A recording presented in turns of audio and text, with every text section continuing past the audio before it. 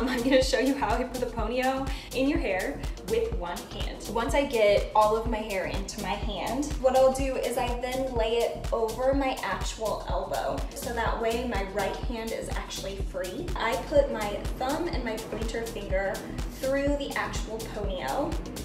And then I will tip my head over and actually using my nub, I push to make sure that my two fingers can pinch in between the ponyo. At which point I put my nub on top and I'm able to pull the hair all the way through. Grab on to the end of my hair and push the ponyo all the way to my skull. Then I actually will flatten the ponyo.